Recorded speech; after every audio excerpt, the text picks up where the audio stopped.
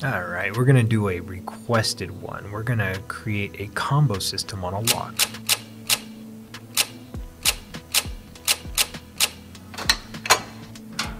Very similar to what you would see in like a Resident Evil game. First thing you want to go do is go over to filebase.gamedevhq.com. I'm using lock 27 for this, which has the uh, cylinders and all the letters on it.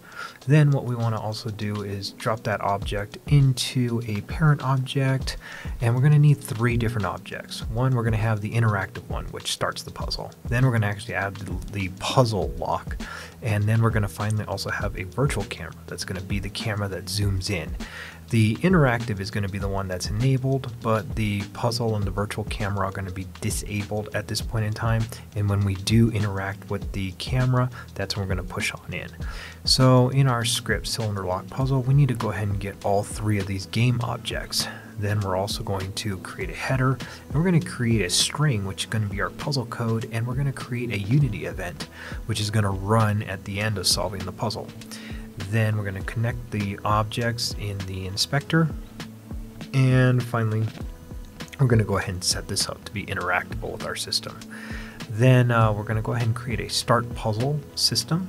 And what the start puzzle system is going to do is we are going to make sure we turn on our virtual camera.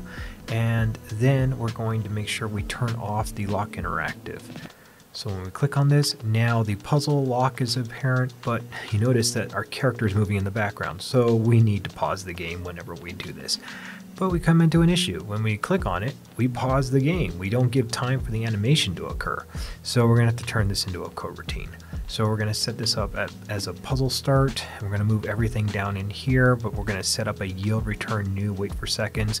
So it gives like half a second for that virtual camera to uh, uh, play. So when we now click on it, we zoom on into the camera. But we run into another issue. We can't zoom out. We got to end the puzzle as well. So we're basically going to unpause the game and reverse everything else. So now the interactive becomes true again. The lock puzzle turns off. The VCs turn off and uh, then we got to also see how do we do this well when we press the mouse button down on the right mouse button that's when we end the puzzle so if we click it on the left zoom in right button turn off. Now we want to do a little bit of a check here. We want to make sure that the puzzle is going to be started when we do interact with it, uh, just to prevent any like issues later on with uh, interacting with other objects. So we're always just going to do that bool check first to make sure that our, we are currently in the puzzle and now we can start interacting with these buttons.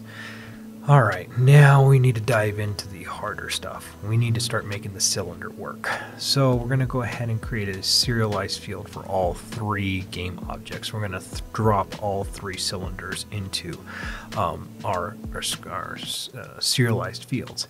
Now we're going to create a rotation step and we're going to create this little function right here, which is going to create a step and every step is going to rotate by 45 degrees.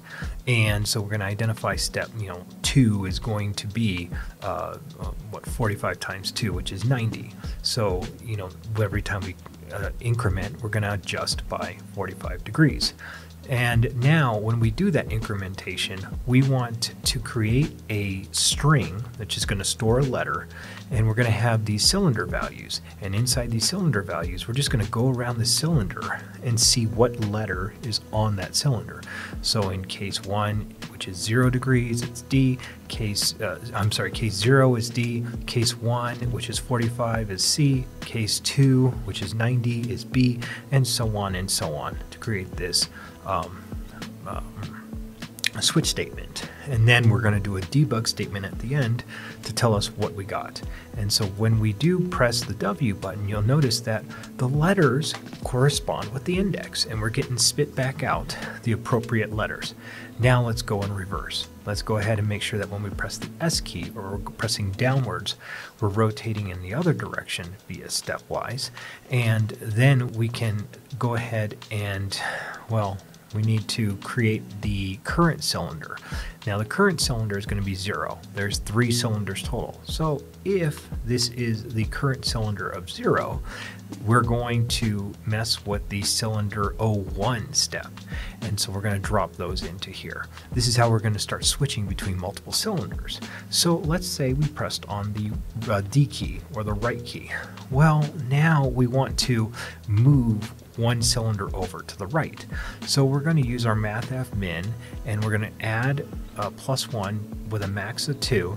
And then if we press the S button, we're going to, in our current cylinder, do a math f dot max and we're going to subtract one from our current cylinder with a minimum value of zero. So when we go right or when we go left, you can see that the current cylinder changes. And if we aren't on cylinder zero, that first cylinder isn't going to rotate. So now we need to do the big work. We need to basically duplicate everything and uh, copy it over for cylinder 2 and cylinder 3. So not only do we have to create the cylinder movement for cylinder 1 and cylinder 2, but we also got to create all the stored values for those cylinders to be checked. So now we got to go through and individually adjust every single letter, and we got to adjust the debug statements and basically everything so that those stored string values and step values are appropriate. And now you can kind of see that when we go to the cylinder 2, we're moving through that and we're getting the case statement of what letter coincides with what step. And you just got to make sure you go test everything. Now we're going to do our check code function. In here, we're going to create an entered code, which is going to be our cylinder one letter plus two letter plus three letter. And we're going to compare that to our puzzle code. And if it matches, then our puzzle code is complete. But if it doesn't match, if the two strings don't match, then I'm going to tell you what you entered and also what the current puzzle code is. And then where do we place this? Well, we're going to run the check code at the end of every time we check what the new cylinder value is. So it's going to be a one-time check and you'll start with like just comparing the first letter to the three letters. You know those don't work. So you got to go to the second cylinder and the third cylinder. And finally, when you get to the all three cylinders and you put in AOC, which is our code, now you'll see at the bottom that the puzzle is complete. Excellent.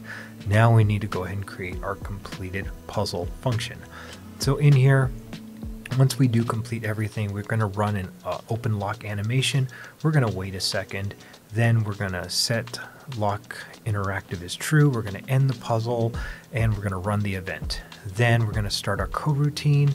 We're going to make sure on start we don't run the puzzle. And now we're just going to start adding in sound effects. So when we step to the left or to the right, or we push up or down, and then when we finish the puzzle, we have the appropriate sounding sound effects.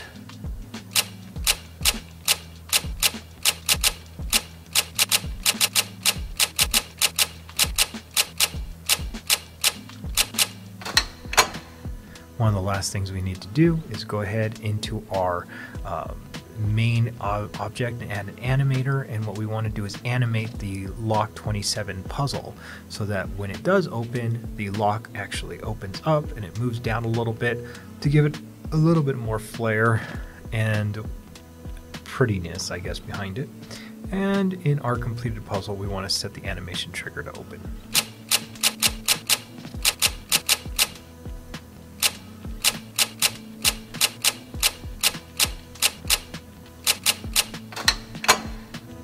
Excellent. Go ahead and place that lock. And we also have this event system so that when we do solve this puzzle, we can now run an event. And for this, it's opening and unlocking this door.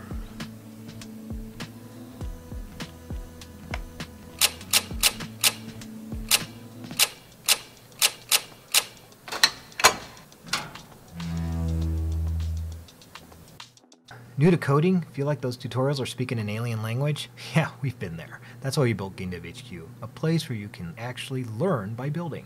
Our monthly membership gives you access to 900 plus hours of hands-on training from 2D to 3D to VR, AR, first person, and third person games.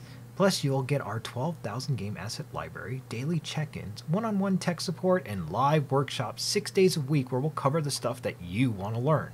We're not just developers, we're gamers too, and we love helping people like you turn that first line of code into something awesome. Come hang out with us and let's build something together. Check us out at GameDevHQ.com.